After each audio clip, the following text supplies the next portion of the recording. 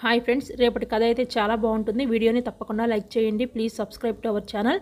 రాజు ఎక్కడున్నా కానీ రాజులాగానే వ్యవహరిస్తాడు. ఇక రిషి కూడా డీబీఎస్టీ బరువు బాధ్యతల్ని అక్కడి నుంచే హ్యాండిల్ చేస్తాడు. అసలు ఏం జరుగుతుందో రేపు అనేది చూసేద్దాము. ఇక రిషి డీబీఎస్టీ కాలేజీ గురించి పాండ్యన్ వాళ్ళకి చెప్తాడు. ఇక పాండ్యన్ బ్యాచ్ రిషి చెప్పినట్లే చేస్తారు. అనుకున్న దానికంటే కూడా చాలా తొందరగానే రిజల్ట్ అయితే వస్తుంది. ఇక కాలేజీకి ఐదు వందల మంది స్టూడెంట్స్ పైగానే మేము జాయిన్ అవుతాం మేము జాయిన్ అవుతామని చెప్పి రావడంతో ఇక మహేంద్ర జగతి అక్కడ ఉన్న వాళ్ళందరూ కూడా షాక్ అయిపోతారు. ఇక శైలేంద్ర మాత్రం నోరెళ్ళ పెట్టి చూస్తాడు. ఇదేంటి? ఈ స్ట్రెంత్ ఏంటి? ఇలా పెరిగిపోయింది అని అనుకుంటూ ఉంటాడు. ఇక మహేంద్ర అప్పటికే ఆ రిపోర్టర్ని చడామడా వాయించేసరికి జరిగింది మొత్తం చెప్తాడు. ఇక అదంతా కూడా వీడియో రికార్డ్ చేస్తాడు మహేంద్ర. ఏ చేత్తో అయితే డీబీఎస్టీ కాలేజీ పతనమైంది స్ట్రెంత్ తగ్గింది అని చెప్పి చెడ్డగా రాసావో అదే చేత్తో ఇప్పుడున్న స్ట్రెంత్ ఇలా పెరిగింది. నిజంగా అనూహ్యమైన మార్పు వచ్చింది అని చెప్పి కాలేజీ గురించి చాలా గొప్పగా రాయాలి. లేకపోతే నిన్ను జీవితాంతం జైల్లో పెట్టిస్తాను అని చెప్పి అనటంతో ఇక రిపోర్టర్ అయితే నన్ను క్షమించండి సార్ నన్ను క్షమించండి మీరు చెప్పినట్లు చేస్తాను అని చెప్పి భయపడిపోతూ ఉంటాడు. ఇక మహేంద్ర చెప్పినట్లే పేపర్లో ఎస్టీ కాలేజీలో అనూహ్యమైన మార్పులు చోటు చేసుకున్నాయి. అనూహ్యంగా స్ట్రెంత్ పెరిగిపోయింది.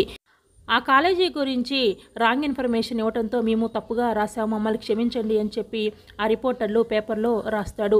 ఇక అది చూసిన రిషి వసుధార అందరూ ఆనందానికి అయితే అవదలే ఉండవు. ఇక శైలేంద్ర మాత్రం నోరెళ్ళ పెట్టి చూస్తూ ఉంటాడు. ఇదేంటి? ఈ రిపోర్ట్ ఇలా చేశాడు ఏంటి అని చెప్పి అనుకుంటూ ఉంటాడు. ఇప్పుడు ఏమంటావురా శైలేంద్ర? ఒక్కరోజు తేడాతోనే మొత్తం మారిపోయింది. చూసావా? మా తలరాత కాలేజ్ తలరాత అని చెప్పి మహేంద్ర అంటూ ఉంటే ఇక శైలేంద్ర అయితే షాక్ అయిపోయి చూస్తూ ఉంటాడు. అసలు ఇది ఎలా జరిగింది అని చెప్పి అనుకుంటూ ఉంటాడు. ఇదిగో సాక్ష్యం కావాలన్నావా? సాక్ష్యం కూడా చూడు అని చెప్పి ఆ రిపోర్టర్ మాట్లాడినంతా కూడా రికార్డు చేసింది శైలేంద్రకి చూపిస్తాడు. ఈ సాక్ష్యం చాలనుకుంటా నిన్ను మెడపట్టుకుని బయటికి గెంటేయటానికి అన్నయ్య అని చెప్పి మహేంద్ర మాట్లాడుతూ ఉంటాడు.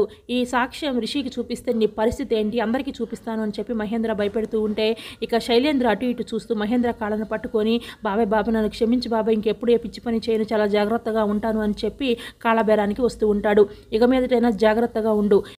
నా కొడుకు జాలికి వచ్చినా అలాగే కాలేజీ విషయాల్లో జోక్యం చేసుకున్నా సరే మర్యాదగా ఉండదు ఇది బయట పెట్టేస్తాను అని చెప్పి మహేంద్ర అంటూ ఉంటాడు. లేదు బాబాయ్ చాలా జాగ్రత్తగా ఉంటాను బుద్ధిగా ఉంటాను ఎవరికి చెప్పకండి బాబాయ్ అని చెప్పి ఇక దొంగ నాటకాలు ఆడుతూ ఉంటాడు శైలేంద్ర. ఆ వీడియోని డిలీట్ చేయ బాబాయ్ ప్లీజ్ బాబాయ్ అని చెప్పి దండం పెట్టుకుంటూ వేడుకుంటూ ఉంటాడు. లేదు లేదు నీ గురించి నాకు తెలియదా?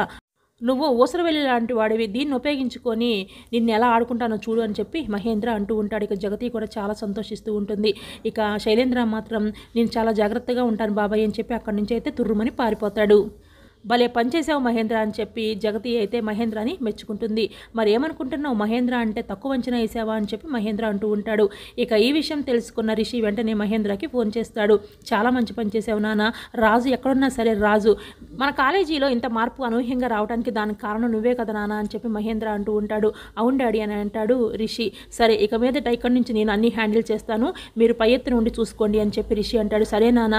నువ్వు మా వెనకాలే ఉండి డీబీఎస్టీ కాలేజీ బాధ్యతను తీసుకుంటానంటే ఎంతకంటే ఇంకేం కావాలో చెప్పు అని చెప్పి ఇక మహేంద్ర జగతి ఇద్దరు కూడా ఊపిరైతే పీల్చుకుంటారు.